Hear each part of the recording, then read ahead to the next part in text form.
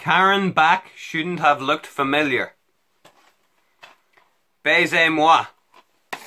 Art porn, where one woman gets raped by someone who looks like David Beckham while another sells herself into prostitution before killing their brother and roommate respectively.